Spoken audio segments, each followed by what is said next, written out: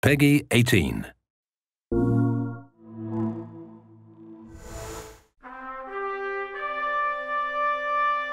We have a witness who confirms that you were arguing, that your wife ran out, that you followed her and didn't come back. I know this looks bad, but it's not true.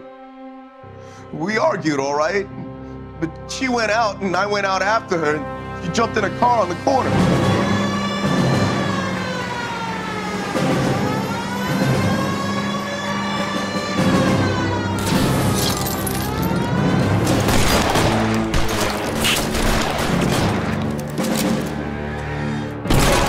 She was looking around in her bag.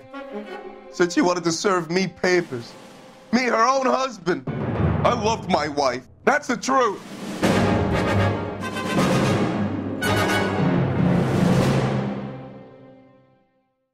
For the players.